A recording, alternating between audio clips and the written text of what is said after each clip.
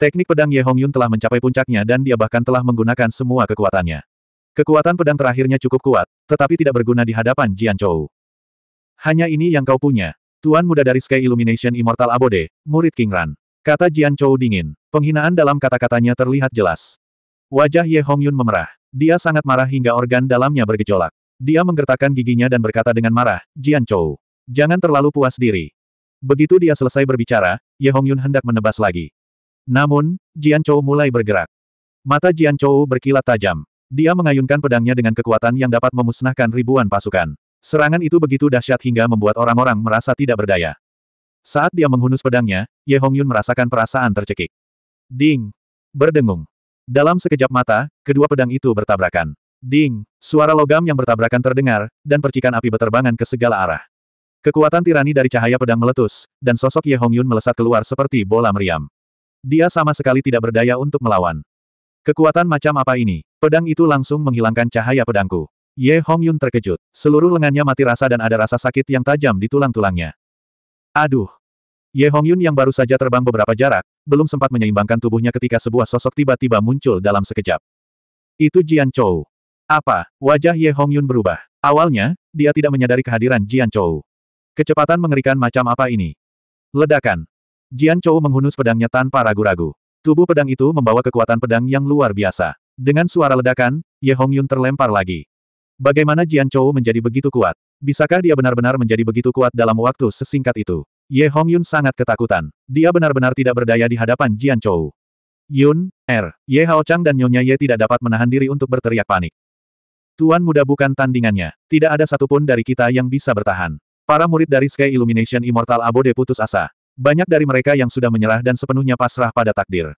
Jian Chou baru mengayunkan pedangnya sekali dan Ye Hongyun terlempar. Dia sama sekali tidak berdaya untuk melawan. Bagaimana mereka bisa bertarung? Hanya dengan satu ayunan, hasil pertempuran menjadi jelas. Kekuatan Jian Chou jauh di atas kekuatan Ye Hongyun. Qiu Tian menggelengkan kepalanya sedikit dan berkata, Ye Hongyun sama sekali bukan tandingannya. Kekuatan yang luar biasa. Kaisar pertempuran mencibir. Kekuatan Ye Hongyun sama sekali tidak lemah. Sayang sekali dia bertemu dengan seorang komandan makhluk tertinggi. Serangan pedangnya telah menghancurkan kepercayaan dirinya. Dia terlalu lemah, kata Leng Ren. Ye Hongyun sudah panik. Komandan Zizun bahkan belum menggunakan kekuatan penuhnya. Gui Su tertawa. Sebagai yang mulia abadi, mereka dapat melihat keadaan pikiran Ye Hongyun saat ini. Sambil menatap dingin ke arah Ye Hongyun yang ketakutan, Jian Chou berkata dengan dingin, Ye Hongyun, jika hanya ini yang kau miliki, maka komandan ini benar-benar kecewa. Para jenius dari dunia abadi surga hanya biasa-biasa saja. Ye Hongyun yang ketakutan sekali lagi diprovokasi oleh Jian Chou. Wajahnya sekali lagi berubah jahat, seolah-olah dia akan menjadi gila. Berdengung. Ye Hongyun meraung dengan ganas, terus-menerus memancarkan kekuatan yang mengerikan, cahaya hijau cemerlang meledak, auranya meningkat pesat. Mantra abadi, pedang penembus matahari sembilan kali lipat. Ye Hongyun mengeluarkan raungan murka saat dia menyalurkan sejumlah energi yang mengerikan ke pedang abadi kuno dan menebasnya. Aduh! Berdengung. Cahaya pedang hijau besar meledak dengan kekuatan penghancur, membawa serta suara yang tajam dan menusuk telinga. Ke mana pun ia lewat, ruang bergetar hebat. Menghadapi mantra abadi milik Ye Hongyun, ekspresi Jian Chou tidak berubah sama sekali. Dia bahkan tidak bergerak, seolah-olah dia tidak peduli dengan cahaya pedang itu. Bajingan ini, melihat Jian Chou tidak bergerak, Ye Hongyun merasa terhina sekali lagi, dan hatinya dipenuhi amarah. Aduh! Tepat saat cahaya pedang hijau raksasa itu mendekati Jian Chou, Jian Chou tiba-tiba menebas pedangnya, dan cahaya pedang yang mendominasi pun menyambar. Detik berikutnya, cahaya pedang hijau besar itu langsung terbelah menjadi dua. Apa? Ekspresi Ye Hongyun berubah drastis. Dia menatap cahaya pedang yang terbelah menjadi dua dengan ngeri, seolah-olah dia telah melihat hantu. Bagaimana ini mungkin? Ye Hao Chang dan yang lainnya juga membelalakan mata mereka. Ye Hongyun menyerang dengan marah. Kekuatan cahaya pedang ini pasti sebanding dengan kekuatan Kaisar Abadi kuno Bintang 5. Namun kekuatan sekuat itu malah terbelah menjadi dua oleh pedang Jian Chou. Kekuatan Ye Hongyun sedikit lebih tinggi dari Jian Chou. Selain itu, dia telah menggunakan mantra abadi, tetapi dia bahkan tidak bisa menggoyahkan Jian Chou. Seberapa mengerikan kekuatannya? Ye Hongyun sangat ketakutan, dan berkata dengan linglung, ada apa dengan kekuatannya? Cahaya pedangku sebanding dengan milik Kaisar Abadi Kuno Bintang 5, hanya saja dia tidak menggunakan teknik pedang apa pun, dan hanya cahaya pedang biasa yang mematahkan cahaya pedangku. Ye Hongyun tidak dapat mengerti, dan dia tidak dapat menemukan jawabannya, tidak peduli seberapa keras dia memeras otaknya. Aku tidak tahu apakah aku melebih-lebihkan mantra abadi dari tempat tinggal abadi penerangan langit, atau apakah kekuatanku terlalu kuat, tetapi cahaya pedangmu bukanlah ancaman bagiku. Jian Chou berkata dengan dingin, tatapannya yang dingin menembus cahaya pedang yang terbelah menjadi dua dan jatuh pada Ye Hongyun. Merasakan tatapan dingin Jian Chou, Ye Hongyun tiba-tiba menggigil, seolah-olah sedang ditatap oleh iblis. Aduh! Jian Chou tiba-tiba melangkah ke dalam kehampaan, dan tubuhnya berubah menjadi petir emas, dan kecepatannya sangat cepat. Dalam sekejap mata, Jian Chou telah muncul di depan Ye Hongyun, dan pedang abadi kuno di tangannya turun dari atas. Aura berbahaya yang kuat membuat Ye Hongyun ketakutan, dan dia secara naluriah mengangkat pedang abadi kuno untuk menangkisnya. Ledakan. Engah. Pedang Jian Chou turun dengan pancaran pedang yang mendominasi, dan dengan ledakan keras, Ye Hongyun memuntahkan seteguk darah, dan tubuhnya berubah menjadi garis hitam dan jatuh ke tanah. Pada saat tabrakan, Ye Hongyun menyadari betapa mengerikan kekuatan Jian Chou, dan dia merasa lengannya akan lumpuh. Gemuruh. Tubuh Ye Hongyun terbanting ke tanah di alun-alun Sky Illumination Immortal Abode, dan sebuah lubang besar terbentuk di tanah.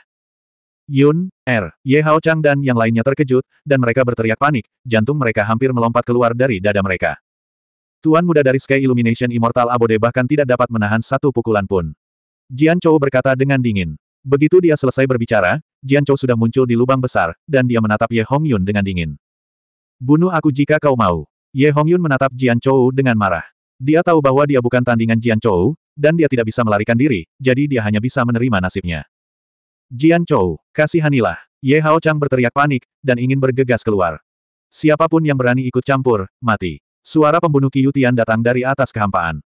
Membunuhmu sama saja dengan membiarkanmu lolos begitu saja. Jian Chou berkata dengan dingin, sudah kubilang aku ingin kau membayarku kembali, jadi kau harus membayarku kembali. Kamu, apa yang ingin kamu lakukan?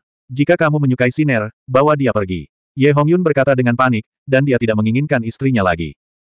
Aku tidak ingin menjadi kotor. Jian Chou berkata dengan dingin, lalu dia menusukkan pedangnya ke laut Qi Ye Hongyun, menghancurkannya. 3302. Puff. Ye Hongyun memuntahkan seteguk darah, tampak sangat ketakutan dan putus asa. Jian Chou, kau menghancurkan laut Kiku. Ah, batuk. Ye Hongyun berteriak dengan marah. Dia sangat gelisah hingga batuknya mengeluarkan darah. Ye Hongyun dapat merasakan dengan jelas bahwa kekuatan dalam tubuhnya terkuras dengan cepat. Komandan ini sudah mengatakan bahwa membunuhmu akan membuatmu lolos begitu saja. Jika aku melumpuhkanmu, kau akan hidup dalam ketakutan dan penyesalan selama sisa hidupmu. Kau akan menyesal telah menyinggung perasaanku. Kata Jian Chou dingin. Setiap kata yang diucapkannya dipenuhi dengan kebencian terhadap Ye Hongyun. Dasar bajingan, Ye Hongyun mengumpat dengan marah.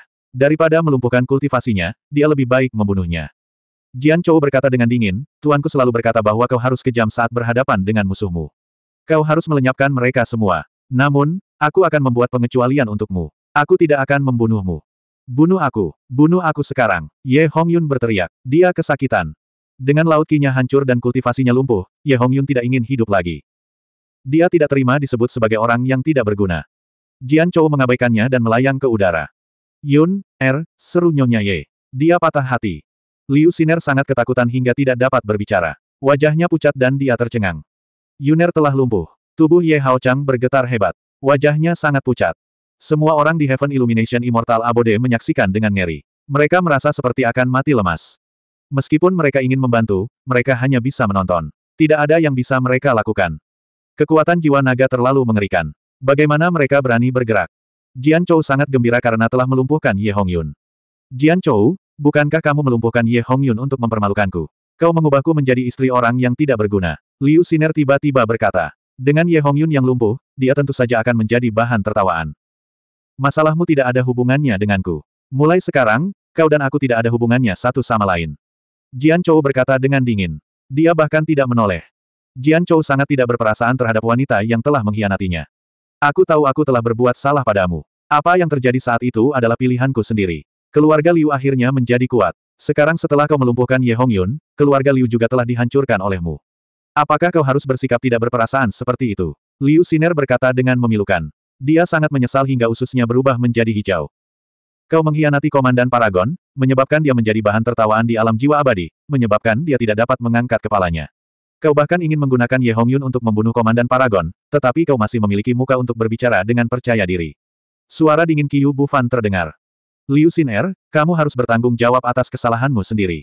Ini yang disebut pembalasan. Saat kamu mengkhianati Komandan Zizun, kamu seharusnya memikirkan konsekuensinya. Sejujurnya, Aku lebih suka kamu mengkhianati Komandan Zizun. Kalau tidak, Komandan Zizun akan dihancurkan olehmu. Panglima Zizun tidak membunuh Ye Hongyun karena dia tidak ingin kamu menjadi janda. Dia sudah sangat berbelas kasih padamu. Kata-kata Qiu Bufan terdengar nyaring, bagaikan pisau yang menusuk hati Liu Siner. Jian Chou tidak bisa mengembalikannya kepadaku saat itu. Apa yang salah dengan pilihanku? Liu Siner masih tidak merasa bersalah. Dia hanya tidak menyangka Jian Chou akan menjadi panglima tertinggi jiwa naga. Dia masih belum menyadari kesalahannya. Ye Qingyu tidak bisa menahan diri untuk tidak tercengang.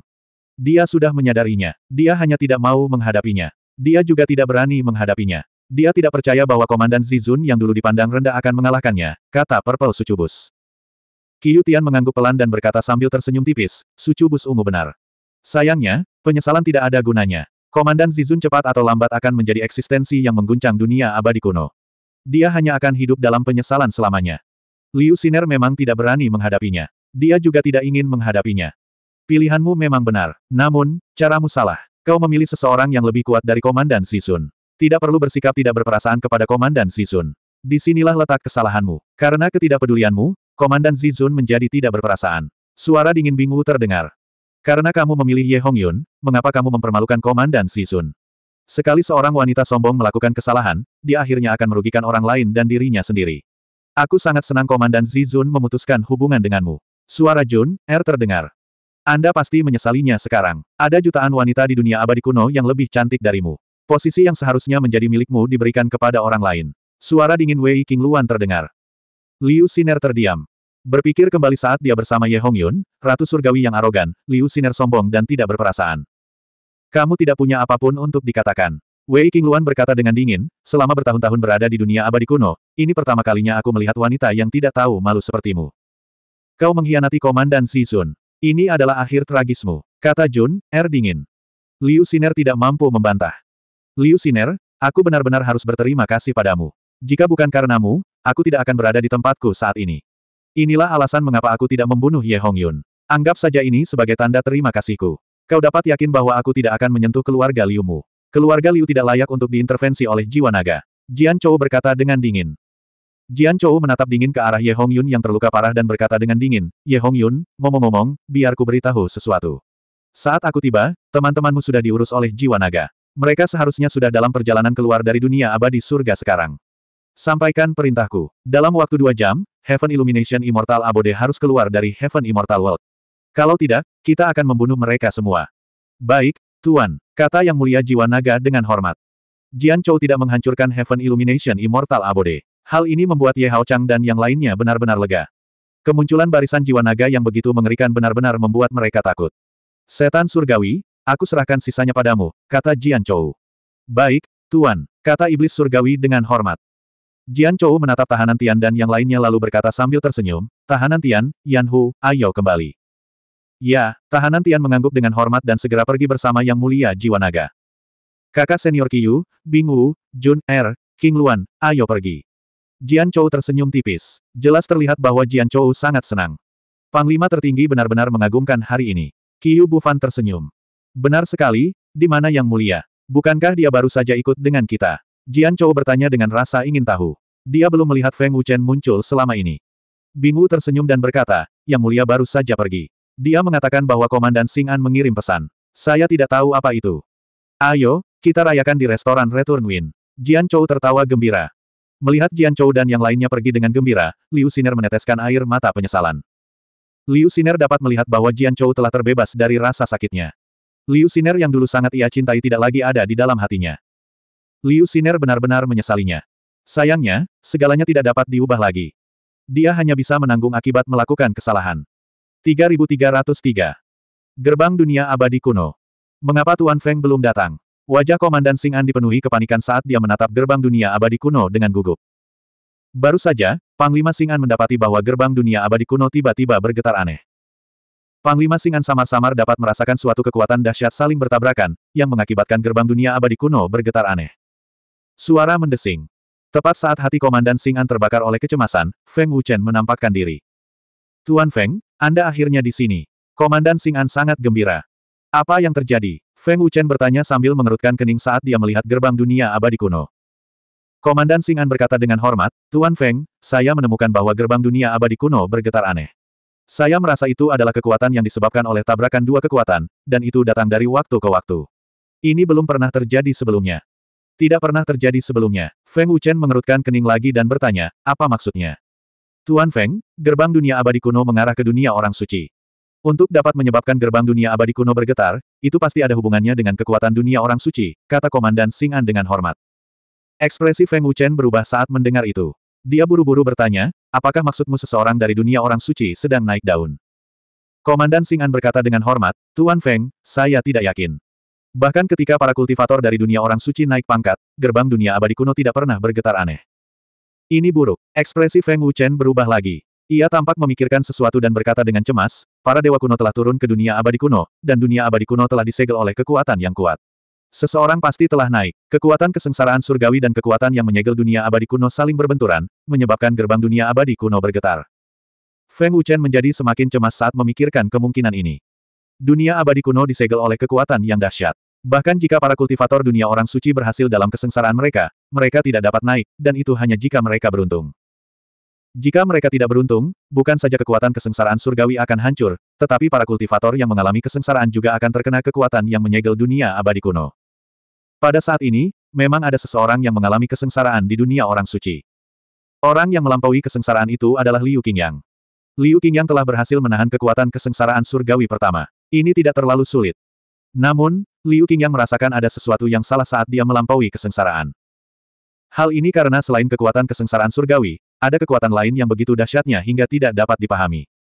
Kekuatan macam apa ini? Aku bisa merasakan kekuatan yang mengerikan di balik kekuatan kesengsaraan surgawi. Rasanya sangat jauh, tetapi juga sangat dekat. Mungkinkah naik ke dunia abadi kuno seperti ini? Liu Qingyang mengerutkan kening. Dia bisa merasakan bahwa ketika dia berbenturan dengan kekuatan kesengsaraan surgawi, ada kekuatan yang lebih kuat menyebar ke arahnya.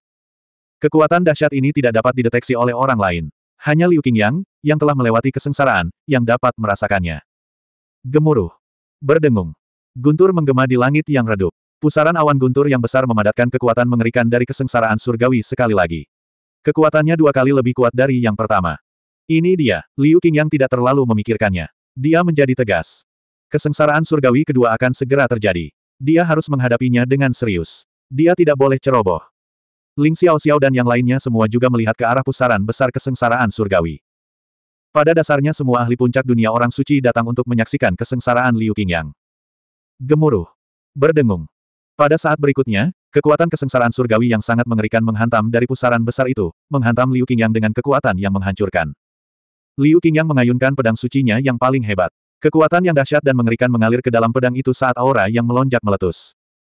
Datang, makanlah pedangku. Liu Qingyang berteriak dan mengayunkan pedangnya. Desir. Berdengung. Cahaya pedang hijau yang besar membumbung tinggi ke langit. Dalam sekejap, kekuatan cahaya pedang itu meningkat beberapa kali lipat. Cahaya hijau itu menjadi semakin menyilaukan. Langit yang redup diselimuti oleh cahaya hijau itu. Ruang Science World bergetar hebat. Pedang Liu Qingyang sungguh mengerikan. Gemuruh. Berdengung. Cahaya pedang yang ganas dan mengerikan itu bertabrakan dengan kesengsaraan surgawi. Tabrakan itu menyebabkan ledakan. Riak-riak energi yang merusak menyapu tanpa henti, menutupi seluruh ruang dunia orang suci. Kekuatan kesengsaraan surgawi lenyap tanpa jejak dalam sekejap. Liu Qingyang menghancurkan kesengsaraan surgawi kedua dengan satu serangan. Bagus sekali. Zhang Junlan dan yang lainnya bersorak kegirangan. Long Sihun tersenyum, bagus sekali. Kekuatan Qingyang sungguh tidak sederhana. Akan tetapi, saat semua orang tengah bersorak, adegan berikutnya membuat mereka ketakutan. Liu Qingyang menghancurkan kesengsaraan surgawi kedua dengan satu serangan. Sebelum dia bisa merayakannya, dia tiba-tiba merasakan kekuatan yang sangat mengerikan bangkit kembali dari pusaran kesengsaraan surgawi. Pusaran besar kesengsaraan surgawi bergetar hebat, seakan-akan hendak menghilang. Inilah kekuatan misterius itu. Apa yang terjadi? Liu Qingyang terkejut. Ekspresinya menegang. Hah! Detik berikutnya, kekuatan penghancur menghantam Liu Qingyang, menyebabkan dia memuntahkan seteguk darah. Bagaimana ini mungkin? Kekuatan macam apa ini? Ia bisa mengabaikan kekuatanku dan melukaiku. Liu Qing yang terkejut. Ia merasa tubuhnya akan hancur berantakan. Kesadarannya sudah sedikit kabur. Qing Yang, Ling Xiao Xiao dan yang lainnya berteriak panik. Sungguh kekuatan yang mengerikan. Ini bukan kekuatan kesengsaraan surgawi. Ini buruk. Qing Yang dalam bahaya. Long Sihun terkejut. Wajahnya penuh kekhawatiran. Kekuatan macam apa ini? Apakah itu kekuatan dunia abadi kuno? Mengapa itu muncul selama kesengsaraan surgawi? Long Nitian terkejut. Ketakutan yang kuat melonjak di dalam hatinya. Dia belum pernah melihat kekuatan yang begitu merusak. Kekuatan ini luar biasa. Kekuatan ini di luar imajinasi kita. Kekuatan ini sudah melampaui batas dunia suci. Ayo, semuanya, serang bersama. Teriak Suetu. Feng Zhengqiong mengerutkan kening. Mengapa kekuatan seperti itu muncul di dunia suci? Apakah itu untuk menghentikan kita dari kenaikan? Ketika Chen Er mengalami kesengsaraan surgawi, tidak ada kekuatan seperti itu. Menyerang, Long Sihun berteriak. Sekelompok besar ahli bergegas ke langit. Mereka menggunakan semua kekuatan mereka dan mengeluarkan semua jenis senjata suci yang kuat. Ledakan, dentuman, dentuman. Puff puff puff. Kekuatan penghancur menghantam. Long Sihun dan para ahli top lainnya hampir memuntahkan darah pada saat yang sama. Tidak ada yang bisa menahan kekuatan yang tak terbayangkan ini. Apa yang terjadi? Apakah ini kekuatan dari dunia abadi kuno? Ling Xiao Xiao terkejut. Dia sangat takut sehingga dia hanya bisa memeluk Xiao Xiao. Orang-orang di kuil raksasa menyaksikan dengan ngeri saat mereka jatuh. Wajah mereka kaku.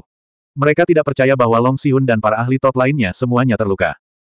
Kekuatan penghancur macam apa ini? 3304. Di gerbang menuju dunia abadi kuno. Feng Wuchen masih belum tahu tentang kesengsaraan Liu Qingyang dan apa yang terjadi di dunia suci. Dunia abadi kuno telah disegel. Komandan Sing An tercengang. Dia sama sekali tidak tahu tentang ini. Jika dunia abadi kuno disegel, bagaimana para kultivator dunia suci bisa naik? Tuan Feng, apa yang harus kita lakukan sekarang? Jika apa yang dikatakan Tuan Feng benar, konsekuensinya tidak akan terbayangkan. Bahkan jika Tuan Feng dapat menghidupkan kembali mereka, jika mereka gagal dalam kesengsaraan, mereka tidak akan dapat melangkah ke dunia abadi kuno. Jika mereka menjalani kesengsaraan kedua, kekuatan kesengsaraan surgawi akan meningkat dua atau bahkan tiga kali lipat. Tidak mungkin untuk berhasil, kata Komandan Sing An dengan khawatir. Jika mereka gagal dalam kesengsaraan itu, peluang untuk bertahan hidup mendekati nol. Bahkan jika mereka dapat bertahan hidup atau jika Feng Wuchen dihidupkan kembali, mereka tidak akan dapat melangkah ke dunia abadi kuno tanpa pengakuan dari dunia abadi kuno. Jika mereka mengalami kesengsaraan kedua, kekuatan kesengsaraan itu akan menjadi lebih mengerikan. Itu tetap mustahil. Dewa-dewi kuno dari laut dalam di penjara, dan dunia pangu diambil alih oleh dewa-dewa kuno yang kuat. Mereka yang mengendalikan tatanan langit dan bumi mungkin tidak dapat mengubahnya sesuka hati. Jika tidak, kekuatan kesengsaraan surgawi dapat melemahkan sang pengendali. Bahkan jika mereka mengalami kesengsaraan kedua, mereka tidak perlu khawatir. Feng Wuchen mengerutkan kening dan berpikir dalam hati, kekuatan yang menyegel dunia abadi kuno sedang menargetkan binatang api Chaos Suan. Kekuatan ini pasti sangat kuat. Aku hanya bisa meminta bantuan dari Dewa Kuno bergelar jiwa.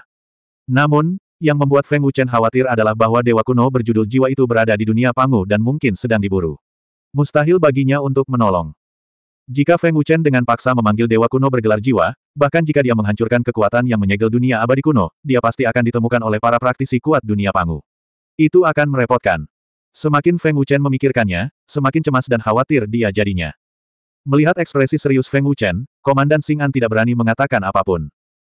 Tuan, Carilah binatang api Chaos Suan untuk meminta bantuan. Itu pasti masih ada di ruang spiritualmu. Pedang Dewa Naga tiba-tiba berkata. Ya, dengan kekuatannya, dia pasti bisa mematahkan kekuatan itu. Mata Feng Wuchen tiba-tiba berbinar. Binatang api misterius primal chaos, bantulah aku. Feng Wuchen segera mengirimkan suaranya. Meskipun Feng Wuchen tidak mempercayai binatang api misterius primal chaos dan tidak ingin berutang budi padanya, hanya itu yang bisa membantu sekarang. Terlebih lagi, hanya Chaos Mystical Fire Beast yang memiliki kekuatan absolut untuk menghancurkan segel di dunia abadi kuno. Nak, jika kau ingin mereka melewati masa kesusahan dengan lancar, kau harus menghancurkan kekuatan ini. Jika kau menghancurkan kekuatan ini, kau pasti akan membuat para ahli alam pangu khawatir. Apa kau tahu apa akibatnya? Kata binatang api misterius yang kacau. Ekspresi Feng Wuchen sangat serius. Dia menyampaikan suaranya, Aku tidak tahu apa konsekuensinya, tetapi apa pun yang terjadi, kita harus menghancurkan kekuatan ini dan membiarkan mereka bangkit dengan lancar. Istri, anak, anggota klan, kerabat, dan teman Feng Wuchen semuanya ada di dunia orang suci. Mereka sangat penting bagi Feng Wuchen, jadi Feng Wuchen tidak bisa mengabaikan mereka. Tidak peduli apa pun konsekuensinya, Feng Wuchen harus menghancurkan segel di dunia abadi kuno. Segel di dunia abadi kuno adalah mantra yang kuat. Melanggar mantra ini pasti akan membuat orang yang memasangnya khawatir. Namun, karena kamu meminta bantuanku dan tidak peduli dengan konsekuensinya, aku bersedia membantumu. Kata binatang api misterius Primal Chaos. Binatang api misterius primal chaos sama sekali tidak khawatir dengan konsekuensinya. Dia hanya khawatir akan membawa masalah bagi Feng Wuchen. Terima kasih banyak. Waktu sangatlah penting. Tolong hancurkan mantra itu segera. Feng Wuchen menyampaikan suaranya dan merasa jauh lebih lega. Ayo pergi. Aku akan membawamu melihat dunia dimensi. Kata binatang api misterius primal chaos. Komandan An, tetaplah di sini. Minta juga pelindung Tian Hen untuk datang dan berjaga. Jangan biarkan siapa pun mendekati gerbang dunia abadi kuno. Kata Feng Wuchen dan menghilang begitu saja. Saat Feng Wuchen muncul lagi, dia berada di ruang dimensi redup yang seperti bintang. Ini adalah ruang dimensi. Sungguh aura yang aneh. Aura itu penuh dengan misteri. Ada juga aura dunia pangu. Itu pasti kekuatan yang menyegel dunia abadi kuno. Feng Wuchen sangat terkejut. Ini adalah pertama kalinya dia datang ke tempat yang begitu ajaib dan misterius. Benar sekali, ribuan dunia dipisahkan oleh ruang dimensi. Itu juga bisa disebut kekacauan. Ribuan dunia ada setelah kekacauan tercipta. Kata binatang api misterius primal chaos. Begitu, Feng Wuchen menganggukkan kepalanya sedikit. Ruang besar di depanmu adalah dunia abadi kuno. Permukaan ruang itu disegel oleh pesona yang kuat. Binatang api misterius primal chaos berkata lagi. Melihat ruang besar di depannya yang disegel oleh pesona biru, Feng Wuchen berkata, aura yang sangat mengerikan. Itu sebanding dengan dewa kuno berjudul pertempuran jiwa. Begitu dia selesai berbicara, dia tiba-tiba merasakan sesuatu. Feng Wuchen tiba-tiba berkata, ini adalah aura King Yang. Ada juga kekuatan kesengsaraan surgawi. King Yang sedang mengalami kesengsaraan. Feng Wuchen tiba-tiba merasakan aura Liu King Yang dan kekuatan kesengsaraan surgawi. Ini adalah kekuatan tabrakan antara King Yang dan kesengsaraan surgawi. Feng Wuchen bisa merasakan dua kekuatan dahsyat saling bertabrakan, dan kekuatan tumbukan menyebar ke arahnya dengan cepat. Tabrakan antara Liu Qingyang dan kesengsaraan surgawi menghantam pesona biru yang menyegel dunia abadi kuno dengan keras. Ledakan. Berdengung. Tabrakan dahsyat itu menyebabkan pesona biru besar itu bergetar, tetapi segera menjadi tenang. Tabrakan antara Liu Qingyang dan kesengsaraan surgawi menghilang seketika. Jadi begitu, Feng Wuchen akhirnya mengerti mengapa gerbang dunia abadi kuno bergetar aneh. Itu disebabkan oleh tabrakan antara Liu Qingyang dan kesengsaraan surgawi. Pada saat ini, Liu Qingyang sedang berjuang mati-matian melawan kesengsaraan surgawi ketiga. Dia telah mengeluarkan armor suci yang kuat. Meskipun dia terluka parah, dia menggunakan taktik pangu untuk melawan kesengsaraan surgawi terakhir. Jika bukan karena kekuatan mengerikan taktik pangu, Liu Qingyang yang terluka parah akan berubah menjadi abu. Namun, kekuatan Liu Qingyang cepat terkuras, dan luka-lukanya memburuk dengan cepat. Dia mungkin tidak dapat bertahan sampai kesengsaraan surgawi ketiga. Aura King yang sangat lemah. Feng Wuchen mengerutkan kening dan bertanya-tanya, seharusnya tidak. Dengan kekuatan King Yang dan kekuatan taktik Pangu, kesengsaraan surgawi tidak dapat menyakitinya. Apa yang terjadi? Tepat saat Feng Wuchen selesai berbicara, ekspresinya berubah drastis. Inilah, kekuatan pesona. Feng Wuchen menoleh ke belakang dan mendapati bahwa pesona yang tadinya tenang, tiba-tiba bangkit kembali dengan kekuatan yang menakutkan. Meski tidak sekuat pesona itu sendiri, itu berada di luar batas dunia suci. Mungkinkah, Feng Wuchen tampaknya telah menebak sesuatu dan berkata dengan kaget, binatang api mistik caotik, hancurkan pesonanya. Sepertinya sihir itu sedang mempermainkan.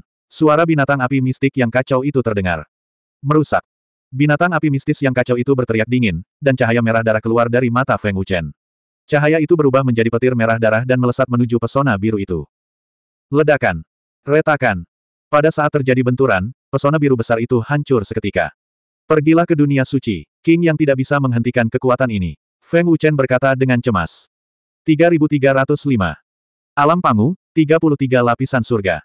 Seorang pria parubaya duduk bersila di bawah pohon abadi di Gunung Surgawi yang mengambang di kehampaan. Dia membuka matanya sedikit. Seseorang yang dapat menghancurkan penghalangku dengan mudah pasti memiliki kekuatan yang luar biasa, tetapi kekuatan ini berasal dari ruang dimensi dunia abadi kuno. Siapa yang melakukannya? Kata pria parubaya itu dengan acuh tak acuh. Pria parubaya itu merasakannya saat penghalang yang menyegel dunia abadi kuno hancur. Setelah berpikir sejenak, lelaki itu menebak, kekuatan ini sangat istimewa. Kekuatan ini memiliki garis keturunan binatang buas dalam kekacauan. Mungkinkah orang yang membuat Demon Soul Prime marah bukanlah Dewa Kuno Douhun, melainkan orang lain? Pria itu melambaikan tangannya, dan layar cahaya muncul dari udara tipis. Seorang lelaki tua dengan rambut dan janggut putih muncul di layar cahaya. Dewa Kuno Suechan, mengapa kau memanggilku? Lelaki tua itu tersenyum tipis. Sue Chan berkata dengan hormat, penatua pertama, pesona yang menyegel alam abadi kuno telah rusak oleh kekuatan misterius. Aku khawatir orang yang dicari oleh jiwa iblis tertinggi bukanlah Dewa Kuno Douhun, tetapi orang lain. Oh, orang lain. Tetua pertama sedikit terkejut. Kekuatan ini berasal dari ruang dimensi dunia abadi kuno. Dengan kata lain, kekuatan ini berasal dari dunia bawah. Orang ini seharusnya masih berada di dunia abadi kuno. Kekuatan ini sangat istimewa. Kekuatan ini mengandung aura garis keturunan kekacauan dan binatang buas, kata Dewa Kuno Sue Chan dengan hormat. Garis keturunan kekacauan dan binatang buas. Penatua pertama mengerutkan kening dalam-dalam dan berkata dengan sungguh-sungguh, saya akan segera melaporkan hal ini kepada Demon Soul Prime. Dewa Kuno Sue Chan, gunakan kekuatan ilahi Anda untuk memantau ruang dimensi dunia abadi kuno.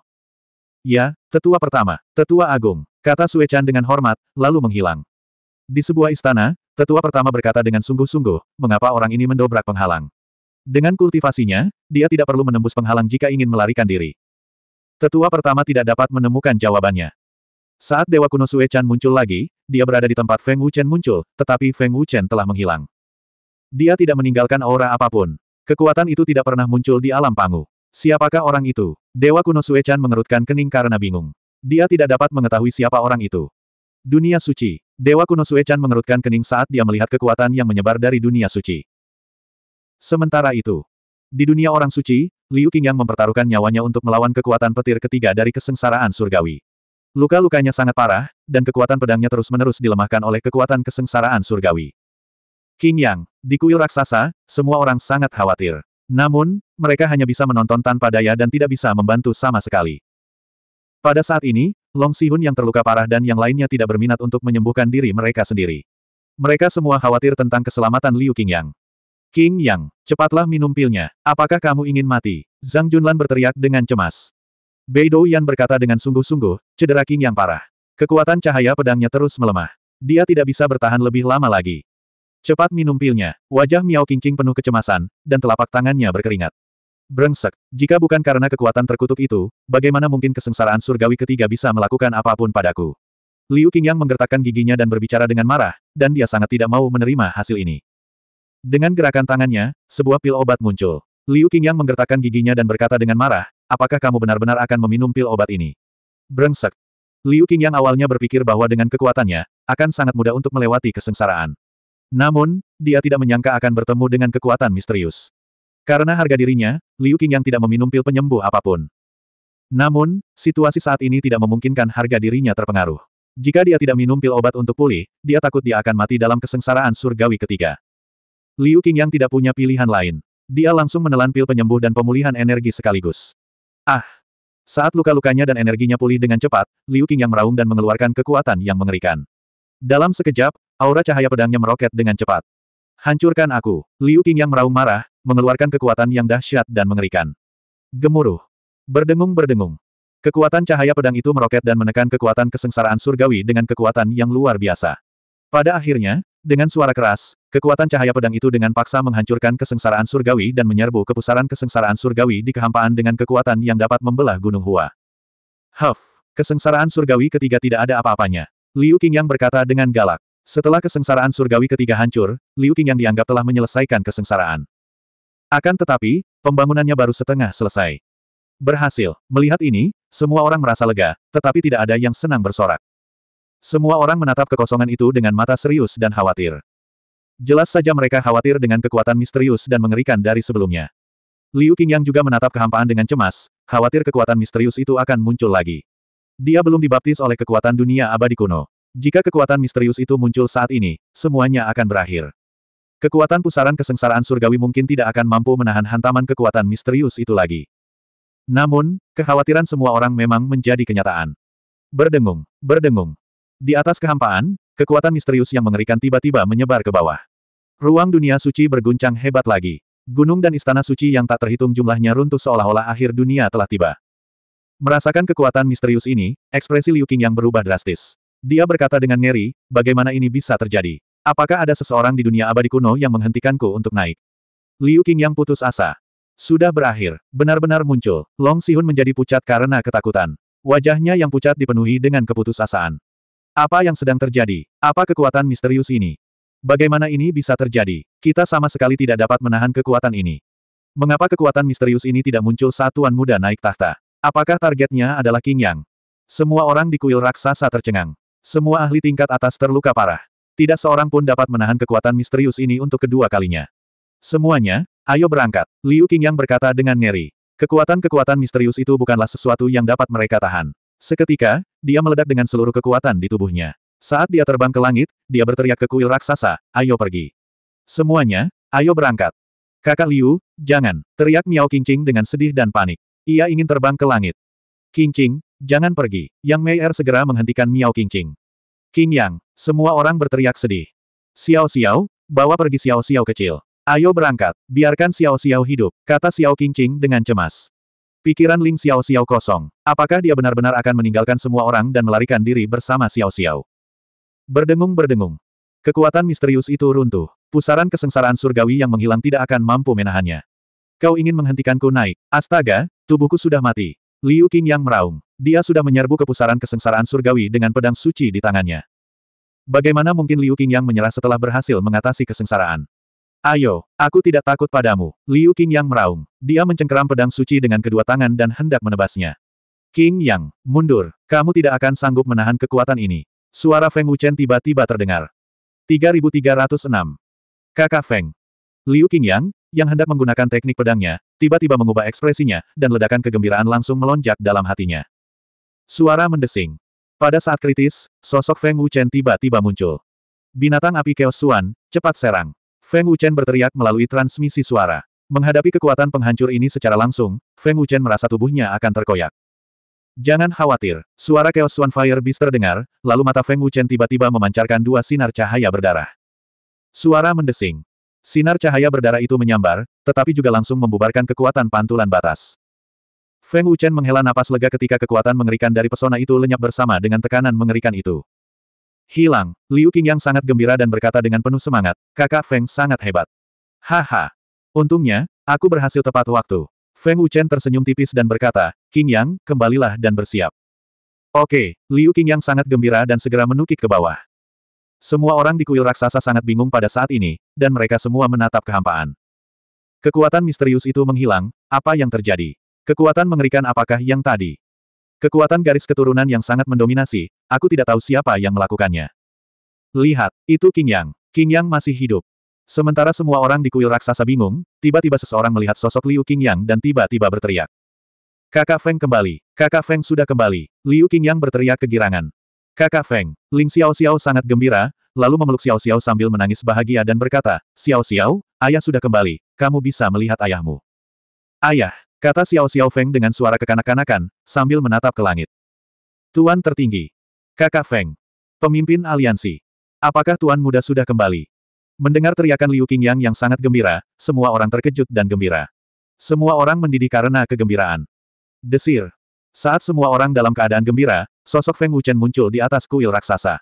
Kemudian, di bawah tatapan gembira semua orang, dia turun.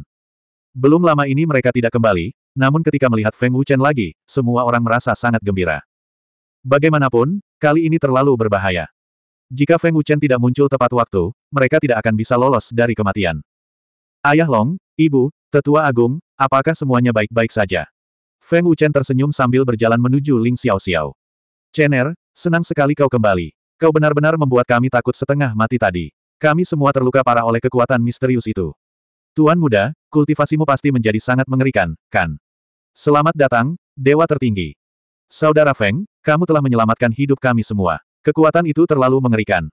Semua orang sangat bersemangat. Long, Er, kau kembali di waktu yang tepat. Jika kau terlambat selangkah, kau tidak akan bisa melihat kami. Long Tianchou tersenyum senang. Kakak Feng, Ling Xiao Xiao berlari menghampiri sambil menggendong Xiao Xiao. Ia menangis kegirangan dan berkata, Xiao Xiao, cepat panggil ayah. Ayah, si kecil Xiao Xiao yang manis itu memanggil dengan suara kekanak-kanakan.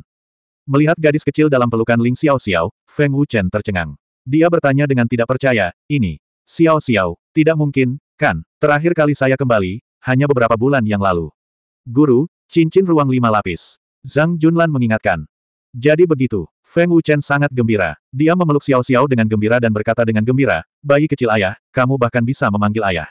Haha, gadis baik, cium ayah. Feng Wuchen dengan senang hati mengangkat Xiao Xiao, membuat gadis kecil itu tertawa terbahak-bahak. Dia sangat gembira. Long, Er, bersikaplah lembut. Wajah Ibu Long penuh dengan kekhawatiran. Ia takut Feng Wuchen akan jatuh. Xiao Qingqing pun buru-buru berkata, Chener, hati-hati. Jangan menakuti Xiao Xiao.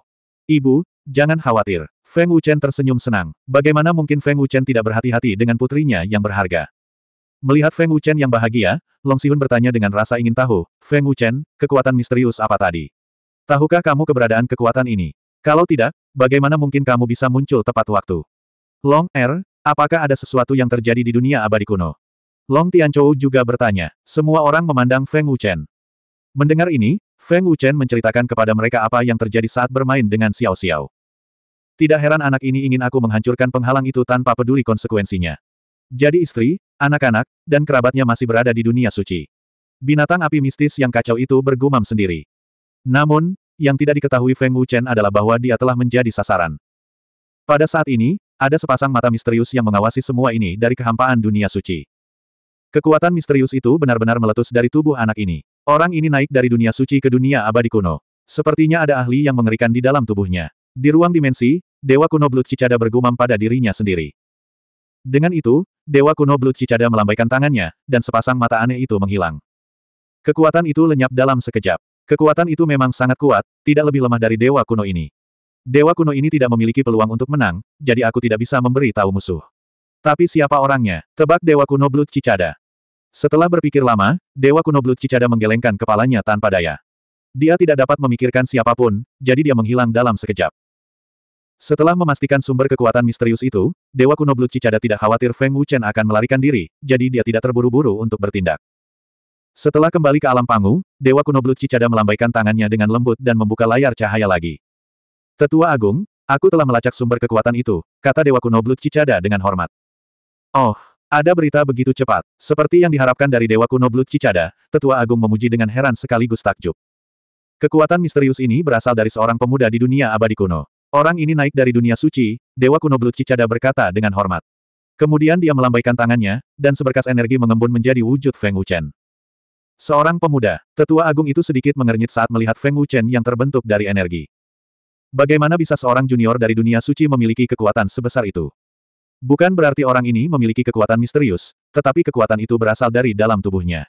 Mungkin itu adalah binatang yang bermutasi atau seorang ahli yang tidak diketahui asalnya, kata Dewa Kuno Blood Cicada dengan hormat. Kekuatan misterius ini mampu dengan mudah menembus penghalang Dewa Kuno ini. Kekuatannya tidak lebih rendah dari Dewa Kuno ini, jadi Dewa Kuno ini tidak berani memperingatkan musuh. Kalau begitu, Kekuatan yang membuat Devil Soul Sovereign marah bukanlah dewa kuno bergelar, tetapi kekuatan di dalam tubuh anak ini. Tetua Agung itu mengangguk. Yang tidak diketahui oleh Tetua Agung itu adalah bahwa junior ini adalah Feng Wuchen yang dikirim kembali oleh Bai Sun. Tidak mungkin ada kesalahan. Dewa kuno Blood Cicada mengangguk dengan hormat. Meski begitu, tetua ini akan segera mengirim orang ke sana. Kita tidak bisa menunda terlalu lama, kata tetua agung itu acuh tak acuh. Kekuatan ini lenyap dalam sekejap mata. Dewa kuno ini tidak yakin dengan wilayah kekuasaannya yang sebenarnya, kata Dewa kuno Blood Cicada. Bisakah itu lebih kuat dari Dewa kuno bergelar peringkat emas? Tetua Agung itu tersenyum tipis. 3307. Dewa kuno bergelar emas. Dewa kuno darah Zen mengerutkan kening, berpikir dalam hati, tanda angin Dewa kuno. Meskipun Dewa kuno Winmark adalah Dewa kuno bergelar emas, dalam pandangan Dewa kuno Blood Zen, kekuatan Dewa kuno Winmark lebih rendah daripada energi misterius itu. Namun, Dewa kuno Blood Zen tidak mengatakannya dengan lantang. Dewa kuno Blood Zen, di mana anak itu? Tetua Agung bertanya sambil tersenyum tipis, sama sekali tidak menanggapi Feng Wuchen dengan serius. Dalam pandangan Tetua Agung, tidak peduli seberapa kuat energi misterius dalam tubuh Feng Wuchen, dia tidak sebanding dengan Dewa kuno bergelar dengan cincin Dewa kuno emas. Saat ini dia ada di dunia suci, jawab Dewa kuno Blood Zen. Awasi dia, begitu dia kembali ke dunia abadi kuno, segera laporkan. Tetua ini ingin melihat kekuatan macam apa yang bisa membuat Demon Soul Prime marah, kata Tetua Agung dengan dingin. Dimengerti, kata Dewa Kuno Blood Zen dengan hormat. Tidak ada seorang pun yang dapat menyentuh posisi Demon Soul Prime. Dulu, Kaisar Agung Sepuluh Arah berakhir seperti itu. Tetua Agung berkata dengan bangga. Dunia Suci. Feng Wuchen memberitahu Long Sihun dan yang lainnya tentang apa yang terjadi di dunia abadi kuno, tetapi dia tidak menyebutkan keberadaan binatang api Chaos Suan. Setelah mendengar ini, semua orang terkejut dan ketakutan. Ini di luar imajinasi mereka. Melihat kerumunan yang terkejut, Feng Wuchen berkata sambil tersenyum tipis, jangan khawatir, para ahli dunia pangus sangat jauh dari kita. Sekarang adalah waktu terbaik untuk naik ke dunia abadi kuno. Dengan kultivasi semua orang, kalian semua bisa naik. Suamiku, aku juga telah memutuskan untuk naik, kata Ling Xiao Xiao sambil tersenyum. Bagus, setelah naik, kamu bisa kembali menemui Xiao Xiao kapan saja. Aku masih bisa melakukannya, kata Feng Wuchen sambil tersenyum bahagia. Melihat Feng Zhengqiong dan Long Tianchou, Feng Wuchen bertanya dengan gembira, Ayah Long, Ibu, bagaimana dengan kalian? Long Tianchou menggelengkan kepalanya dan berkata, kami orang-orang tua tidak berencana untuk naik ke atas untuk saat ini. Kami akan menyerahkan dunia yang kuat kepada kalian anak-anak muda. Xiao Xiao masih muda, kita tidak sanggup berpisah dengannya. Sekarang, Xiao Xiao menempel pada kita. Ibu naga tertawa. Chen, Er, apakah kamu naik atau tidak, itu tidak penting lagi bagi kami. Dunia orang suci saat ini cukup bagus. Tidak ada hari-hari pertempuran dan pembunuhan, dan kami bahkan dapat menemani Xiao Xiao. Seberapa nyaman itu? Feng Zhengqiong tersenyum gembira. Dia belum lama naik ke dunia orang suci. Patua bahkan belum selesai menjelajahi dunia orang suci, jadi dia tidak berencana untuk naik. Baili Tianjing tersenyum tipis. Annihilation Soul tersenyum tipis dan berkata, Menara Suci belum menghasilkan penerus yang luar biasa. Patua tidak punya rencana untuk naik. Ketua Aliansi, Anda tidak perlu bertanya. Mereka sudah membicarakannya. Mereka sama sekali tidak ingin naik. Baili Yufeng mengangkat bahu. Yang lainnya bermimpi untuk naik ke dunia yang lebih kuat, tetapi mereka, generasi yang lebih tua, tidak berencana untuk naik itu bahkan jika mereka bisa. Baiklah, kalian bisa naik kapan saja kalian bosan dengan dunia orang suci. Aku akan memimpin jalan untuk kalian. Kalian hanya perlu bersenang-senang. Tidak akan terlambat bagi kalian untuk naik setelah aku selesai dengan dunia abadi kuno. Feng Wuchen mengangguk dan tersenyum. Haha, Feng Qianyang dan generasi tua lainnya tertawa. Melihat Long Sihun dan dua orang lainnya, Feng Wuchen tersenyum dan bertanya, bagaimana dengan kalian bertiga leluhur? Tidak ada Dewa Naga di dunia abadi kuno. Apakah kamu tidak berencana untuk memelihara Dewa Naga di dunia abadi kuno? Sudah saatnya bagi Dewa Naga untuk berkembang di dunia abadi kuno. Kami telah berada di dunia orang suci selama bertahun-tahun. Tentu saja, kami ingin pergi ke dunia yang lebih kuat dan mengejar alam yang lebih tinggi. Long Sihun tersenyum tipis. Bagus, teknik yang akan aku ajarkan kepadamu cukup untuk mengalahkan kesengsaraan surgawi dengan mudah. Feng Wuchen tersenyum tipis. Kakak Feng, aku akan menunggu kalian di dunia abadi kuno. Pada saat ini, teriakan gembira Liu Qing yang terdengar. Dia sudah tersedot ke dalam pusaran emas dunia abadi kuno. Istriku, King King, Lan Yue, Yang Meier, Mu Honglian, kalian pergi dan bersiaplah. Feng Wuchen tersenyum tipis. Oke, Ling Xiao Xiao dan yang lainnya sangat bersemangat. Feng Wuchen memandang Long Nitian dan yang lainnya lalu tersenyum, Nitian, King Hun, Long Ji, biarkan orang-orang bersiap. Ya, Tuan Muda, Long Nitian dan yang lainnya sangat bersemangat. Kaisar Merah, Luan Shen, Huan Yang, sampaikan perintahnya. Saudara-saudara akan naik bersama. Jangan lupakan mereka. Feng Wuchen tersenyum dan berkata. Ya, Kaisar Merah dan yang lainnya berkata dengan hormat dan penuh semangat. Sebagian besar generasi muda Dewa Naga dan aliansi Dewa Naga telah memutuskan untuk naik. Mereka masih muda dan perlu menjelajahi dunia yang lebih kuat. Xiao Xiao, ayah dan ibu akan pergi ke suatu tempat. Xiao Xiao, kamu harus bersikap baik. Feng Wuchen dengan lembut membelai kepala kecil Xiao Xiao. Dia sangat enggan berpisah dengannya. Namun, dengan Ibu Naga dan Xiao Qingqing yang menjaganya, Feng Wuchen bisa merasa tenang. Istriku, aku akan menunggumu di gerbang dunia abadi kuno. Feng Wuchen tersenyum lembut. Hari kenaikan semua orang akhirnya tiba. Feng Wuchen sangat gembira. Pemandangan ratusan orang yang naik bersama-sama membuat semua pembudidaya di dunia suci tercengang. Kapan para kultivator alam bawah menjadi begitu kuat? Ratusan junior muda naik bersama. Bahkan untuk dewa kuno ini, ini adalah pertama kalinya aku melihatnya. Sungguh tak terbayangkan. Di ruang dimensi, dewa kuno Blood Zen yang telah memantau Feng Wuchen juga terkejut dengan pemandangan ini. Sepertinya anak ini tidak sederhana. Dia seharusnya memiliki status tertentu di dunia abadi kuno. Dewa kuno Blood Zen bergumam pada dirinya sendiri. Dia tampaknya tertarik pada Feng Wuchen. Feng Wuchen tidak tahu bahwa Dewa kuno Blood Zen sedang mengawasinya di ruang dimensi. Dia sama sekali tidak dapat mendeteksinya. Gerbang dunia abadi kuno. Setelah Feng Wuchen kembali, Liu Qing yang tengah asyik mengobrol dengan pelindung Tian Hen dan Komandan Xing An. Kakak Feng, melihat Feng Wuchen muncul, Liu Qing yang sangat gembira. Dia langsung bertanya sambil tersenyum, Kakak Feng, apakah mereka temanmu? Mereka berkata bahwa mereka adalah orang-orang yang menunggu untuk bangkit.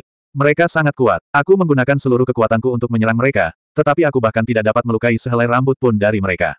Mereka terlalu kuat. Ya, mereka berteman. Feng Wuchen tersenyum tipis. Tuan Feng, pelindung Tian Hen dan Komandan Xing An menangkupkan tangan mereka dan membungkuk hormat. Arus hangat mengalir deras di hati mereka.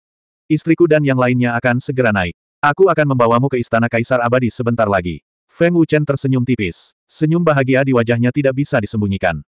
Istriku, pelindung Tian Hen dan Komandan Xing An sama-sama menangkap kata penting ini dan diam-diam terkejut. Tak lama kemudian, Ling Xiao Xiao dan para ahli muda lainnya dari dunia suci, Sue Zan, Yan Long, Long Ken, dan yang lainnya semuanya keluar dari dunia abadi kuno satu demi satu. Ada ratusan orang, pelindung Tian Hen dan Komandan Xing An tercengang. Mereka telah hidup selama ratusan ribu tahun, tetapi ini adalah pertama kalinya mereka melihat ratusan orang mendaki pada saat yang sama. Kapan dunia suci menjadi begitu kuat? Apakah kesengsaraan surgawi di dunia abadi kuno hanya sekadar hiasan? Tetua Agung, orang ini telah kembali ke dunia abadi kuno. Dewa kuno Blood Zen yang diam-diam mengawasi mereka segera melaporkan. 3308. Istana Kaisar Abadi. Istana-istana di dunia abadi kuno memang berbeda. Istana-istana itu benar-benar megah. Saudara Feng, apakah ini istana tempat Anda tinggal? Bukankah jumlah orangnya terlalu sedikit? Tuan muda, apakah tidak ada arah pengumpulan roh di istana? Energi roh di istana tidak berbeda dengan energi roh di dunia luar. Ketika mereka tiba di istana Kaisar Surgawi, semua orang sangat gembira dan mengobrol satu sama lain. Ketua Aliansi, apakah kita akan berkultivasi di Istana Abadi Kaisar mulai sekarang? Leng Mucheng bertanya, sambil mengamati istana megah itu dengan rasa ingin tahu. Feng Wuchen tertawa, benar sekali, mulai sekarang saudara-saudara akan berkultivasi di Istana Kaisar Abadi. Tiga leluhur, ini adalah Istana Abadi Kaisar, tempat saya biasa berkultivasi. Bagaimana, lumayan, kan? Feng Wuchen tersenyum tipis. Long Xitian tertawa gembira, bagus sekali. Seharusnya ada banyak ahli di istana, kan? Long Xihun bertanya sambil tersenyum tipis. Meskipun dia tidak bisa merasakannya, dia bisa menebaknya. Feng Wuchen tersenyum dan berkata, leluhur agung benar. Memang ada banyak ahli di istana abadi kaisar. Sepertinya mereka semua sangat kuat. Aku tidak bisa merasakan aura apa pun. Santong mengerutkan kening. Dia tidak bisa membayangkan betapa kuatnya mereka. Kita baru saja naik ke dunia abadi kuno. Dengan kultivasi kita saat ini, bagaimana kita bisa merasakan keberadaan mereka? Ye Tianwei mengerutkan bibirnya dan berkata. Long Xiaofeng tersenyum dan berkata, Tianwei benar. Kesenjangan di antara kita terlalu besar. Selain itu, mereka pasti mengolah metode pangu yang kuat. Orang-orang saudara Feng jelas tidak sederhana. Nanti akan kubiarkan semua orang saling mengenal, kata Feng Wuchen sambil tersenyum tipis. Suamiku, apakah ada formasi di istana? Mengapa kita tidak bisa melihat orang-orang di istana saat kita berada di luar? Ling Xiao Xiao menebak. Istriku benar. Feng Wuchen tertawa gembira, formasi di atas istana sudah dipersiapkan untukmu. Siap untuk kita. Ling Xiao Xiao dan yang lainnya menatap Feng Wuchen dengan heran. Feng Wuchen mengangguk dan berkata sambil tersenyum, kamu baru saja naik ke alam abadi kuno dan kultivasimu terlalu lemah. Jika kamu ingin mengejar ketinggalan, bahkan dengan manik-manik dewa yang menentang surga dan cincin ruang lima kali, itu akan memakan banyak waktu.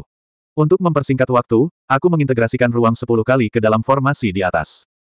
Apa? Sepuluh kali lipat ruang. Semua orang menjadi pucat karena ketakutan, dan mata mereka membelalak lebar.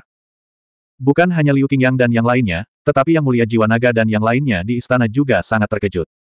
Cincin spasial lima kali sudah cukup menakutkan, jadi apa artinya sepuluh kali? Ini di luar imajinasi siapa pun. Kakak Feng, apakah kamu bercanda? Sepuluh kali lipat ruang, Liu Qingyang bertanya dengan kaget. Ekspresinya sangat kaku dan penuh dengan ketidakpercayaan. Sepuluh kali lipat ruangnya. Jika kita berkultivasi selama sebulan, bukankah itu akan menjadi hampir setahun? Kaisar Naga berkata dengan linglung. Guru, ini tidak mungkin benar, kan? Zhang Junlan juga tercengang. Bocah Feng, jangan menipu leluhur ini, kalau tidak aku tidak akan membiarkanmu pergi. Kata Long Sitian dengan gembira dan gembira. Melihat kerumunan yang terkejut, Feng Wuchen tersenyum tipis dan berkata, tentu saja itu benar. Kapan aku pernah berbohong kepada kalian? Anda akan tahu saat Anda mulai berkultivasi. Keberadaan sepuluh kali lipat ruang pasti akan memungkinkan Ling Xiao Xiao dan yang lainnya untuk meningkatkan kultivasi mereka dengan cepat dalam waktu sesingkat-singkatnya. Bukan berarti mereka akan mampu melampaui Feng Wuchen, tetapi mereka pasti akan mengejar dengan sangat cepat. Jika Yang Mulia Jiwa Naga masuk untuk berkultivasi, kekuatan Jiwa Naga pasti akan melonjak gila-gilaan. Kekuatan kuno apa, ras mimpi buruk iblis apa, mereka tidak akan menaruhnya di mata mereka. Namun, sepuluh kali lipat ruang itu tidak besar dan tidak dapat menampung terlalu banyak orang. Belum lagi, awalnya disiapkan untuk Ling Xiao Xiao dan yang lainnya. Suamiku, dengan kultivasi kami yang seperti ini, bukankah kami akan segera bisa menyusulmu? Ling Xiao Xiao bertanya dengan kaget. Feng Wuchen tersenyum dan berkata, tentu saja, tetapi kecepatan ruangnya sepuluh kali lipat. Meskipun kecepatan kultivasinya cepat, fondasinya tidak dapat diabaikan. Jika kecepatan kultivasinya cepat, itu akan dengan mudah memengaruhi fondasinya. Saya tidak perlu mengatakan lebih banyak tentang ini, bukan? Ketua Aliansi, jangan khawatir. Kami tahu. Kaisar Merah tersenyum gembira, tidak sabar untuk mencoba efek dahsyat dari sepuluh kali lipat ruang. Semuanya, biasakan diri kalian dengan istana terlebih dahulu. Sebentar lagi, aku akan memperkenalkan kalian kepada para ahli istana Kaisar Abadi. Tidak perlu terburu-buru berkultivasi, kata Feng Wuchen sambil tersenyum tipis. Pada saat ini, Dewa kuno Blood Zen telah meninggalkan subdimensi dan memasuki dunia abadi kuno. Dia telah menggunakan kekuatan ilahinya untuk sepenuhnya menyembunyikan auranya. Istana Kaisar Abadi. Sebenarnya ada satu tempat di dunia abadi kuno yang tidak dapat dilihat oleh dewa kuno ini. Tampaknya tempat itu ada hubungannya dengan penguasa kekuatan itu. Mengenai siapa orangnya, dewa kuno ini masih belum dapat mengetahuinya. Dewa kuno Blood Zen sedikit terkejut. Selain istana Kaisar Abadi, dia tidak dapat melihat satu orang pun. Setelah memasuki istana, bukan saja aku tidak bisa melihat siapa pun, bahkan aura mereka pun menghilang. Apakah itu susunan ilusi? Dewa kuno Blood Zen bergumam pada dirinya sendiri. Semakin misterius sesuatu yang ditemukan Dewa kuno Blood Zen, semakin penasaran dia. Dewa kuno Darah Zen. Suara bangga tiba-tiba terdengar di benak Dewa kuno Blood Zen, lalu sesosok muncul tanpa suara. Tanda angin Dewa kuno. Dewa kuno Darah Zen mengerutkan kening. Suara ini tampaknya dipenuhi dengan penghinaan. Dewa kuno Darah Zen melirik Dewa kuno Tanda Angin, tetapi dia tidak mengatakan apa-apa. Dia jelas tidak puas. Dewa kuno Winmark mengenakan brokat putih yang elegan. Rambutnya yang panjang terurai di bahunya, dan dia cukup tampan. Dia memancarkan aura riang dan bersemangat. Di mana dia? Dewa kuno Winmark bertanya dengan dingin, sikapnya tetap sombong seperti biasanya. Dewa kuno tanda angin, Dewa kuno ini sangat menyadari kesombonganmu, tetapi jika kau suka berbicara dengan sikap seperti ini di depan Dewa kuno ini, maka Dewa kuno ini tidak akan menemanimu, kata Dewa kuno darah Zen dengan dingin. Orang lain mungkin takut pada Dewa kuno tanda angin, tetapi dia tidak. Dewa kuno Blood Zen, kau harus jelas tentang untuk siapa kau bekerja. Kekuatan ilahimu mungkin kuat, tetapi Dewa kuno ini tidak mempedulikannya. Jangan lupa bahwa Dewa kuno ini adalah Dewa kuno bergelar emas, sementara kau hanyalah Dewa kuno bergelar merah. Selain itu, jika misinya tidak selesai, kau tidak akan bisa lepas dari tanggung jawab, kata Dewa Kuno Winmark dingin, tatapannya yang dingin menyapu Dewa Kuno Blood Zen. Begitukah? Kalau begitu, bagaimana kalau kita terima hukumannya bersama? Dewa Kuno Blood Zen berkata dengan dingin, lalu dia menghilang, tidak memberikan wajah apa pun kepada Dewa Kuno Winmark. Sebagai Dewa Kuno bergelar, setiap Dewa Kuno bergelar berhak untuk bersikap sombong. Dewa Kuno Blood Zen tidak akan rela dipermalukan hanya karena Dewa Kuno Winmark kuat. Apakah Dewa Kuno ini mengizinkanmu pergi? Dewa kuno Winmark berkata dengan nada menakutkan, lalu dia meraih udara, memutarbalikkan ruang dan menarik Dewa kuno Blood Zen keluar. Huff! Dewa kuno Blood Zen mendengus dingin, kekuatan sucinya yang mengerikan meledak dan memaksa tanda angin Dewa kuno mundur. Bagi Dewa kuno bergelar merah yang mampu memukul mundur Dewa kuno bergelar emas, orang bisa melihat seberapa kuatnya Dewa kuno Blood Zen. Dewa kuno tanda angin, yang lain mungkin takut padamu, tetapi Dewa kuno ini tidak. Jika kau ingin bertarung, Gunung Blood Zen akan menunggumu, kata Dewa Kuno Blood Zen dengan dingin, lalu dia menghilang. Setelah Dewa Kuno Blood Zen pergi, wajah Dewa Kuno Mark berubah sepenuhnya muram. Dewa Kuno Blood Zen, kau benar-benar ingin mempersulit Dewa Kuno ini. Dewa Kuno Mark menyipitkan matanya, cahaya kejam berkelap-kelip di matanya. 3309. Dewa Kuno Blood Zen, jika kau tidak memberitahuku, Dewa Kuno ini tidak akan tahu di mana orang ini berada. Itu salahmu karena kau tidak dapat menyelesaikan misi. Jika monster Soul Sovereign menghukummu, itu tidak ada hubungannya dengan dewa kuno ini. Bahkan jika itu ada, kamu akan dihukum berat. Dewa kuno Blood Zen, dewa kuno ini ingin melihat ekspresi seperti apa yang akan kamu tunjukkan saat monster Soul Sovereign menghukummu. Dewa kuno tanda angin mencibir. Dia tidak takut pada monster Soul Sovereign yang menghukumnya. Penatua pertama, saya tidak dapat menyelesaikan misi ini. Bawahan ini akan pergi, kata Dewa kuno Winmark, lalu dia menghilang. Misi tersebut tidak dapat dilaksanakan karena sikap arogan Dewa kuno Winmark. Alam Pangu, Surga ke-33. Di sebuah istana megah, wajah tetua pertama sangat tidak sedap dipandang, dan mata tuanya dipenuhi amarah. Penatua pertama, Anda seharusnya tidak mengirim Dewa Kuno Tanda Angin. Dewa Kuno Tanda Angin sombong dan angkuh, sedangkan Dewa Kuno Zen darah keras kepala dan tidak terkendali. Mereka berdua bersama-sama tidak akan memiliki akhir yang baik, kata penatua kedua tanpa daya, seolah-olah dia sudah menebak hasilnya. Sayangnya, tidak ada seorang pun di surga ke-33 yang lebih kuat dari Dewa Kuno Tanda Angin kecuali kita. Kita tidak berhak berurusan dengan seorang ahli dari surga ke-34, kata tetua ketiga sambil menggelengkan kepalanya. Ketiga tetua tidak mungkin mengambil tindakan, kan? Segera perintahkan Dewa Kuno Tanda Angin untuk datang menemui tetua ini. Tetua pertama berkata dengan muram. Dia jelas-jelas marah. Istana Kaisar Abadi. Jiwa naga, penguasa raksasa, dan puluhan ribu orang telah berkumpul di Istana Kaisar Abadi. Barisan yang kuat ini membuat Dragon Soul dan yang lainnya ketakutan, dan mereka semua menatapnya dengan mata terbelalak.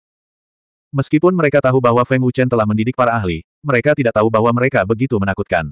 Terlebih lagi, ada puluhan ribu orang yang tersebar di tiga wilayah utama dunia abadi kuno. Yang lebih mengejutkan mereka adalah ada lebih dari seribu ahli yang menakutkan di Istana Kaisar Abadi. Salam, penguasa. Jiwa naga dan penguasa raksasa berlutut dengan satu kaki. Bangkit, Feng Wuchen tersenyum tipis. Hari ini, aku akan memperkenalkanmu pada istriku, anggota klanku, saudara-saudaraku, dan teman-temanku. Ya, tuanku, sapa kelompok jiwa naga dan raksasa dengan hormat. Melihat jiwa naga, raksasa, dan yang lainnya, Feng Wuchen tersenyum tipis dan berkata, kalian pasti sangat penasaran tentang siapa aku dan dari mana aku berasal. Kalian bahkan menduga bahwa aku mungkin berasal dari alam pangu. Hari ini, aku akan memberitahu kalian. Aku bukan dari alam pangu. Sebaliknya, aku berasal dari dunia yang sangat, sangat kecil yang disebut alam fana.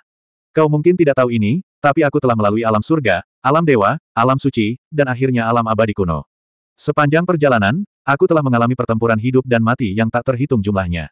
Mereka semua adalah keluargaku, anggota klan, saudara, dan teman-teman yang telah berjuang bersamaku. Organisasi-organisasi di Istana Kaisar Surgawi mempertaruhkan kehancuran untuk membantuku saat aku berada di dunia orang suci. Mu Feng adalah teman yang telah melewati hidup dan mati bersamaku, jadi aku mengangkatnya sebagai komandan yang hebat. Jiwa naga dan raksasa juga merupakan hasil kerja kerasku. Kalian semua adalah orang-orangku, dan kalian tidak mengecewakanku. Di masa depan, aku akan membawa kalian ke dunia yang lebih kuat, dan kita akan bertarung berdampingan. Kekuatan kuno apa? Klan mimpi buruk apa? Jika mereka berani menyerang, kita akan menginjak-injak mereka di bawah kaki kita. Kami akan menunjukkan kepada seluruh alam abadi kuno kekuatan jiwa naga dan raksasa. Perkataan Feng Wuchen mengejutkan jiwa naga dan supremasi raksasa. Mereka tidak pernah menyangka bahwa Feng Wuchen akan datang dari alam fana yang kecil, dan bahkan melewati beberapa dunia untuk sampai ke alam abadi kuno. Keberadaan mengerikan macam apa ini? Kata-kata terakhir Feng Wuchen membuat darah jiwa naga dan supremasi raksasa mendidih.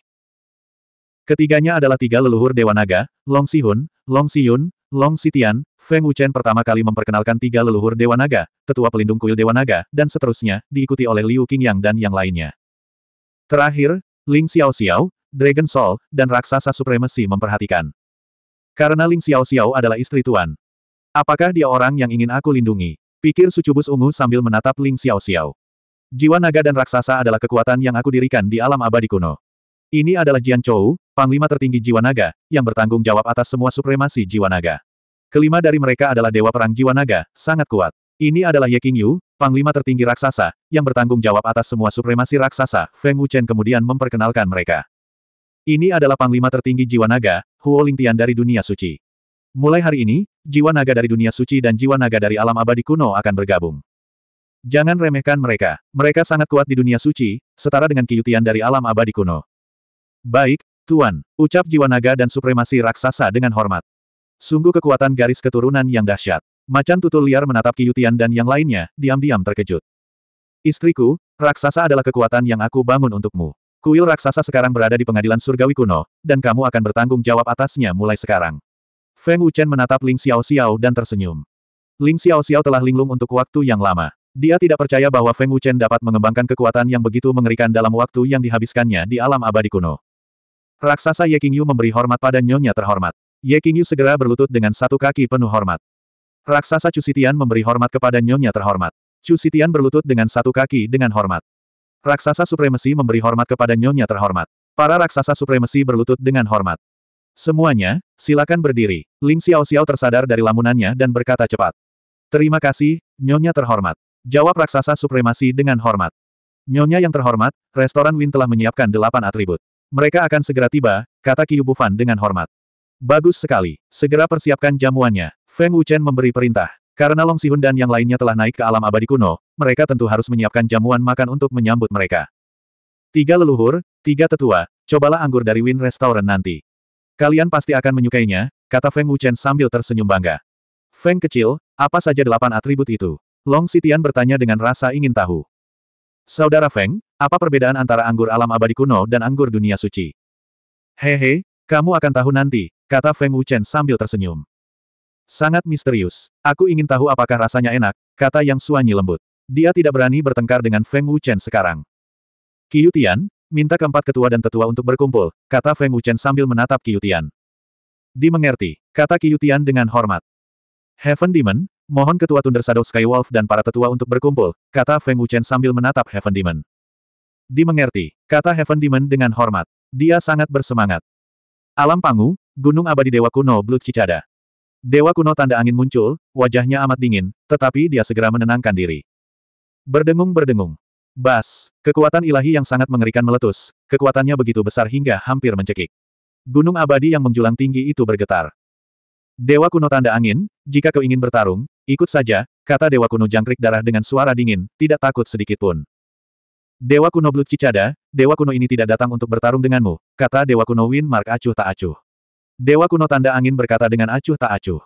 Dia tidak lagi memiliki kesombongan seperti sebelumnya, tetapi kemarahan di hatinya tidak berkurang sedikitpun. 3310.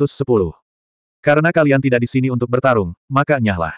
Ini adalah tempat kultivasi dewa kuno. Orang sombong seperti kalian tidak boleh melangkah masuk.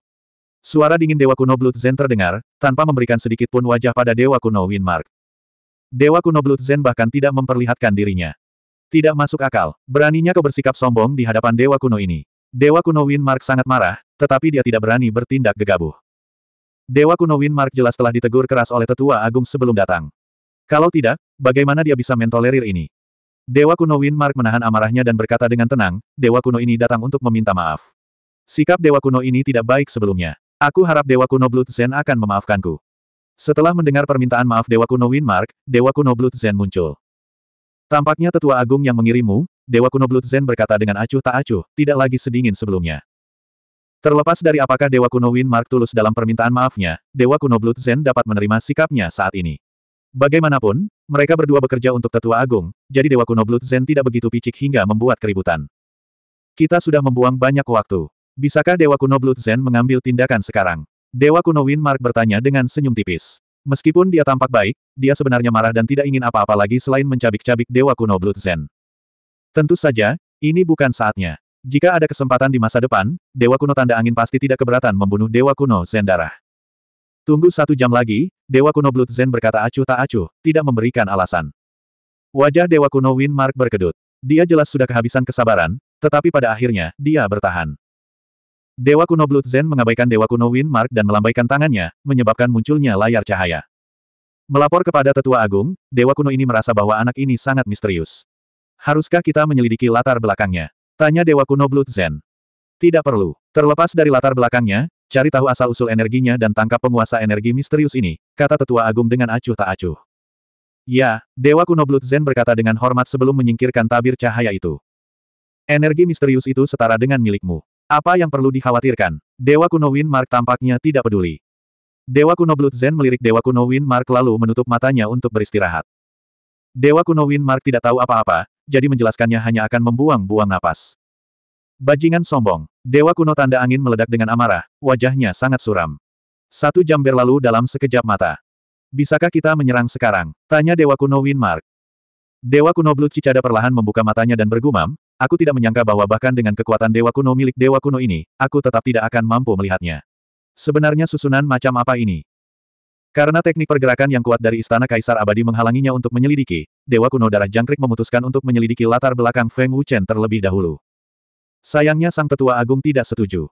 Arai, Dewa Kuno Win Mark mengerutkan kening, tidak tahu apa yang dibicarakan Dewa Kuno Blood Zen. Ayo pergi, kata Dewa Kuno Blood Zen acuh tak acuh sebelum menghilang. Ketika dia muncul kembali, dia berada di udara di atas Istana Kaisar Abadi, dan tanda angin Dewa Kuno juga telah muncul.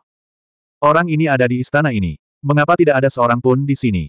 Dewa kuno Win Mark sedikit mengernyit. Sekilas, dia tidak dapat menemukan satu jiwa pun di istana, dia juga tidak dapat merasakan aura apa pun. Dunia luar tidak dapat melihat keadaan sebenarnya di dalam istana, tetapi istana dapat melihat segala sesuatu di luar. Istana ini diselimuti oleh susunan misterius dan kuat, Dewa kuno Blood Zen berkata dengan acuh tak acuh, ekspresinya agak serius. Susunan. Dewa kuno Win Mark akhirnya mengerti arti dari kata-kata Dewa kuno Blood Zen. Dia berpikir dalam hati, aku bahkan tidak bisa melihat energi kuno Dewa kuno Blood Zen.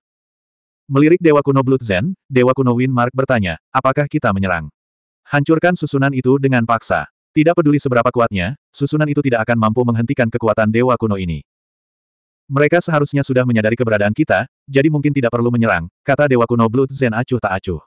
Mereka tidak dapat melihat apa pun di dalam istana, tetapi itu tidak berarti orang-orang di dalam istana tidak dapat melihat mereka.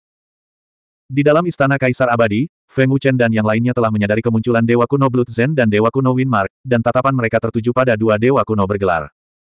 Nak, penguasa penghalang yang menyegel dunia abadi kuno telah datang. Yang satunya bahkan lebih kuat, kata api hitam kekacauan. Dari aura yang keluar dari tubuh Dewa Kuno Blood Zen, orang bisa tahu bahwa dialah penguasa penghalang itu. Bahkan lebih kuat, Dewa Kuno bergelar berwarna emas. Aku tidak menyangka mereka akan menemukanku secepat ini. Feng Wuchen sedikit mengernyit saat dia mengamati darah Dewa Kuno Zen dan tanda angin Dewa Kuno. Tuan, saya belum pernah melihat mereka sebelumnya, jadi saya tidak bisa melihat kultivasi mereka, kata Qi Yutian dengan sungguh-sungguh. Semua orang mengamati kedua Dewa Kuno bergelar itu. Mereka adalah para ahli dari alam pangu, yang bergelar Dewa Kuno, kata Feng Wuchen acuh tak acuh. Apa? Berjudul Dewa Kuno Alam Pangu. Ekspresi Qi Yutian dan yang lainnya berubah, dan mereka langsung dipenuhi rasa takut. Mereka telah melihat betapa mengerikannya Dewa Kuno bergelar itu. Dewa kuno bergelar. Long Sihun mengerutkan kening dalam-dalam sambil berpikir, apakah mereka adalah dewa kuno bergelar yang dibicarakan Feng Wuchen? Mereka adalah eksistensi yang melampaui dewa kuno. Para ahli puncak sejati dari alam pangu. Long Nitian mengerutkan kening dalam-dalam saat dia merasakan kepanikan yang tidak dapat dijelaskan. Liu Qingyang memasang ekspresi agak panik saat berbisik, kita tidak mungkin seberuntung itu, kan? Kami baru saja naik ke dunia abadi kuno, dan kami sudah berada dalam masalah besar. Di hadapan para ahli yang begitu menakutkan, meski mereka tidak bisa merasakan aura mereka, rasa panik yang kuat membuncah dalam hati setiap orang. Suamiku, apakah mereka datang menjemputmu? Ling Xiao Xiao bertanya dengan cemas. Ya, Feng Wuchen mengangguk. Meski ekspresinya serius, tidak ada jejak ketakutan. Tuan, Mereka mungkin datang ke sini untuk membalas dendam, kata Jian Chou dengan sungguh-sungguh. Dewa kuno bergelar Douhun telah membunuh tujuh dewa kuno dan tiga dewa kuno bergelar dari alam pangu. Bagaimana alam pangu bisa membiarkan masalah ini begitu saja? Feng Wuchen, dewa kuno alam pangu. Kekuatannya mengerikan. Apa kau punya ide? Tanya Long Sihun dengan serius sambil menatap Feng Wuchen. Jangan khawatir, leluhur agung.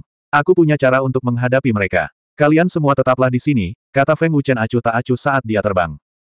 Suamiku, berhati-hatilah. Ling Xiao Xiao menasihati sambil semakin merasa khawatir. Kakak Jian Chou, kakak Feng akan baik-baik saja, kan? Lin Yu bertanya dengan cemas. Jian Chou berkata dengan sungguh-sungguh, jika Tuan berkata kau punya cara, maka dia pasti akan baik-baik saja. Kita tidak berdaya melawan dewa kuno bergelar, jadi kita hanya bisa percaya pada Tuan. Tak lama kemudian, sosok Feng Wuchen melewati susunan itu. Dia ada di sini, Dewa kuno Blood Zen berkata dengan acuh tak acuh saat dia menatap Feng Wuchen. Dewa kuno Blood Zen segera mengenali Feng Wuchen. Anak ini, Dewa kuno Win Mark sedikit mengernyit. Aku tidak bisa melihat kedalaman kultivasi anak ini, aku juga tidak bisa merasakan energi di tubuhnya. Apakah energi misterius dan kuat itu benar-benar ada di tubuhnya? Aku tidak menyangka kau akan menemukanku secepat ini, kata Feng Wuchen sambil tersenyum tipis. Angering Demon Soul Prime pasti ada hubungannya dengan energi di tubuhmu. Dewa kuno ini ingin tahu apa energi misterius itu, kata Dewa kuno Blood Zen acuh tak acuh.